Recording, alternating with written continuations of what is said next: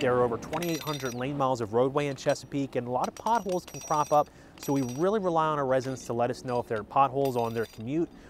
Last year, probably due to the pandemic, there was a reduction in the amount of traffic on the roadways. So in 2020, we repaired about 7,400 potholes.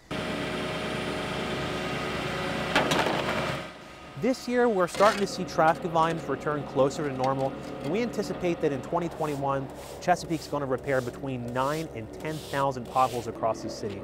So it's very important, again, that residents report potholes when they see them, call 382-CITY, or get online at cityofchesapeake.net and let us know.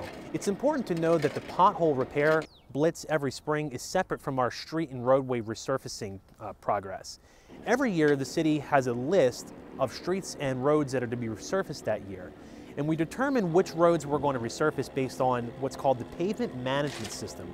We take data that comes in from computer modeling and from our consultant IMS doing technical observation on the roadways with visual inspection and computer analysis using the age of the roadways and traffic data, crunch that together and come up with a list of which roadways are going to need repair sooner than others. What they're doing is using that van and trailer with weight on it to travel across the roadway and determine how much that roadway surface depresses underneath the vehicle.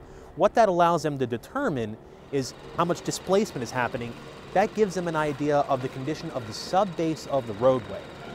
That information compared alongside the age of the roadway, traffic volumes, visual inspection, allows us to determine when that roadway needs to be resurfaced, and we can then put it in the queue with us attacking the roadways that need to be resurfaced more uh, urgently at the top of the list, and then going down the list in order of priority. So again, report those potholes to 382 City, that's 382 2489, or you can easily do it online, cityofchesapeake.net slash requests.